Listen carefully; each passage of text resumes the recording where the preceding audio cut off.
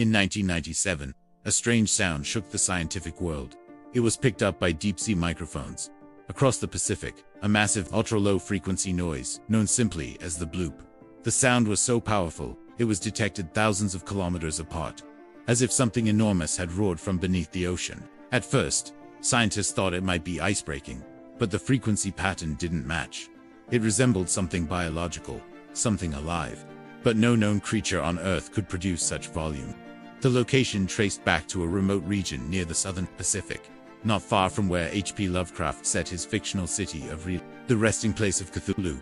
Years passed, theories spread from secret submarines to unknown marine giants. Some said it was a prehistoric beast, awakened deep below. Others believed it was nature's voice, misunderstood by human science. Even now, despite modern monitoring, the bloop remains a mystery. What if it wasn't a sound at all, but a warning from the deep?